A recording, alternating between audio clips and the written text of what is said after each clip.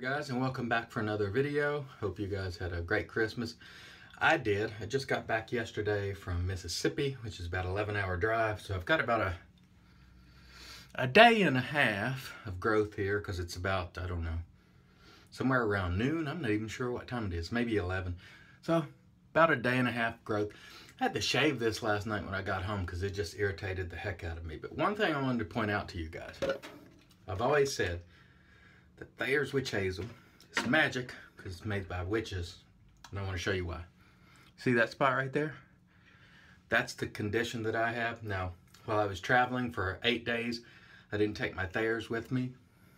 And that is the result. I used to have to use this um, Protopic, very expensive cream. But since I started using Thayer's, no need for it. So I'm going to be back on the Thayer's program in about, uh, about a week of using it. That will go away. All right. For the cream, this is a very underrated cream in my opinion. One of the best smelling creams out there. Cream soap, I don't even know. Tiki Volcano. Haven't seen a lot of people talk about it. Oh, it smells wonderful. Kind of, for me, kind of gives me that um, Japanese yuzu type scent, which I think is uh, excellent. I really like it a lot, and this is a very good cream that, again, I don't see very many people talking about, but perhaps they should because it's a good one. I don't know if, it was a special thing or if it's part of her regular lineup or not, but if it's not, it should be. Thanks to everyone for all the uh, well wishes and Merry Christmases. Merry Christmas and Happy New Year to all of you, especially if I missed anyone. I'm not going to name you because if I did, I most assuredly would miss someone and I don't want to do that. So let's wet the face and get going. All right, so this year it's been quite a year for me as far as you know family goes. I had my father-in-law pass from ALS in October. Then about a week or two later, my brother-in-law's father passed away from cancer. And my uncle, my mother's brother, has leukemia. He's been battling cancer for several years and he's not doing well. And then um, last week, my aunt was diagnosed with lung cancer. I think it's stage four, if I'm not mistaken. So 2015 was a rough year family-wise, and let's hope 2016 is better in terms of health for everyone, you guys included, of course. You know, that is part of life, unfortunately. Um, now, a lot of people always ask when someone gets lung cancer, was my aunt a smoker? Yes, she was. And you can make whatever judgment you want from that. The bottom line is she has cancer and it's not good and it's inoperable. So not much you can do in that sort of situation. Sorry, I got the shower running there. I was cleaning a little bit and didn't get it quite cut off. So if you're hearing it between passes, I'll make sure it gets turned off. Anyway, tough year on the health front for family members for me, and I hope you guys have fared better. You know, every day that you're living and breathing is a good day. You know, we oftentimes, myself included, focus on the negative and how idiotic people are and all the trouble we have. But truth be told, every day living and breathing is a good day. So always keep that in mind. All right, let's rinse the face and come back for pass two. All right, so let's reapply. The soap or cream was wonderful. If it is a soap, it's very soft like a cream. And it smells great. If you like Shambhala or Ruby Red from Tim's or something like that, or um, the Soap Commander, I want to say Inspiration, but I could be wrong. I think it's got that yuzu, Japanese. You, you probably like this. This is very good stuff. And it hits the spot for me. Oh yeah. Saw a lot of, I didn't have time to be on Facebook much over the last, you know, week plus, but I did catch, you know, some of the Christmas pictures and Peter Charkalis on the uh, I don't know if you call it a hoverboard, Segway, whatever. Stay off of it, Pete. You're gonna break something. Trust me. I got sense enough to know better.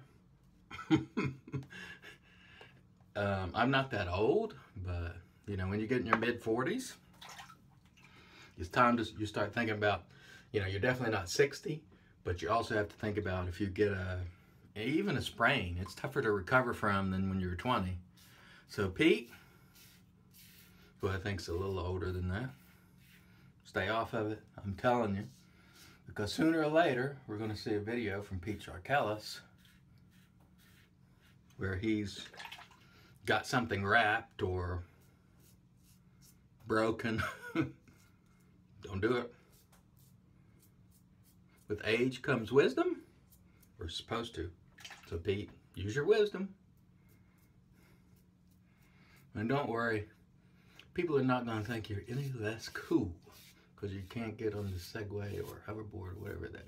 I hope you didn't get the kind from China that Amazon stopped selling. I'm sure Pete didn't. He, he's got pretty good taste, and I'm sure he got a one that the battery doesn't burn the doggone house down.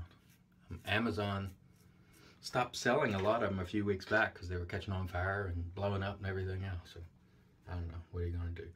It's rinse the face, come back for pass three. So a lot of people enjoy when I do my little retro man-esque rants and you know I got some material of course but um, I guess the one thing that comes to mind after driving you know 11 hours twice you know on the way down and back from Mississippi is people who drive slow in the left-hand lane and I'm not talking about meaning you want to go 90 and a 70 and they're going 75.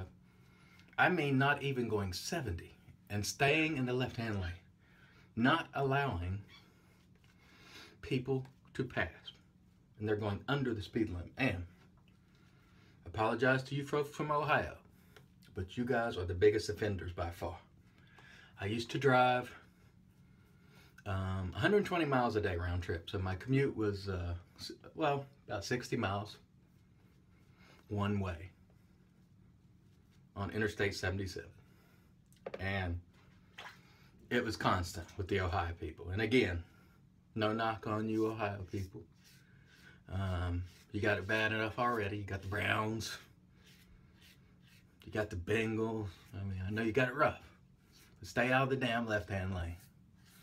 You know, that is for passing, swift moving traffic, or otherwise designated by the traffic signs. Do not be in that left lane when you're going 65 and a 70. And again, I'm not advocating uh, speeding. I'm just saying if you're going to be going slower, the right is the place to be.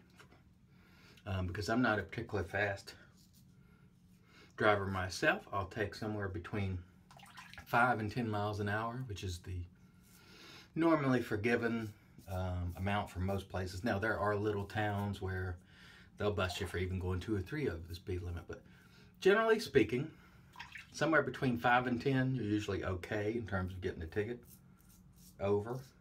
But once you get beyond 10, you are in the red zone. You are going to, if it pops up on the radar, you're over 10, you may not get a ticket, but you very well may get pulled over. And so try to keep it, in my opinion, under 10. Um, in some places, more than five is too much. So five is usually safe universally, except for the little speed traps. And so that's what I try to do. So I'm not a speed demon by any stretch. I mean, I I can't tell you the number of times that somebody passes me, you know, and they're and then we end up at the same stoplight. You know, they're in such a big hurry. So, you know, realistically, slow down, but you Ohio people and other offenders, get out of the damn left-hand lane. You don't have no business staying there. All right. Rinse the face, come back for the post. All right. All right, so we're back. And you know what time it is. Gotta have it. It's well worth six, seven dollars, I don't know, eight, whatever it is, it's well worth it for me. It does have a purpose just beyond you know, making you feel good. Sorry for reaching over you.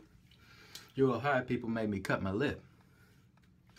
I was yapping and I just drug it across there and slightly nicked my lip. But you know, rusty, it happens. Look at how wet my shirt is, messy. Anyway, let's continue on with the aftershave. This is the inspector, David Fernicola, probably killed three bottles of this stuff, and there's mine. Of course, I switch out aftershaves most every day, but I really like this one a lot. It is a fine smelling aftershave, and in honor of David Fernicola, let's go for another round. I use about, you know, just slap it in my hands and let it rip. David Fernicola must, you know, do one of these numbers. I'm gonna put the cap on. Kind of pour it that way. But he's a good man nonetheless. All right.